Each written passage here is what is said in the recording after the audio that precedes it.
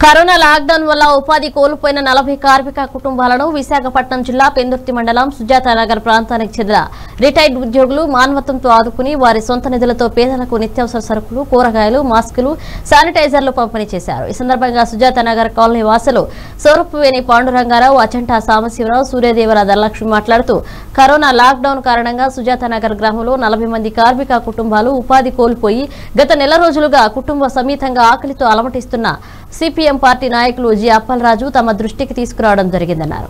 వెంటనే తామంతా సమావేశమయ్యి కార్మిక కుటుంబాలకు నిత్యావసర సరుకులు కూరగాయలు మాస్కులు శానిటైజర్లు తమ సొంత నిధులతో ఇవ్వడం జరిగిందన్నారు. త్వరలో ప్రతి కార్మిక పేద కుటుంబానికి తమ వంతు సహకారం అందిస్తామన్నారు.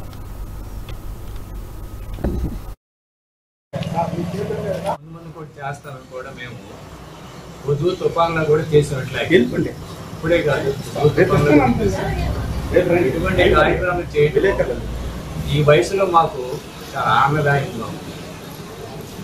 ఇది అందరికి ఉపయోగపడే ఉద్దేశంతో ఈ కార్యక్రమం ఈరోజు చేశాం. మీడియా మిత్రులకి మాతో మాకు సహకరించిన అప్పలరాజు గారికి మీ అందరికీ మా కృతజ్ఞతలు.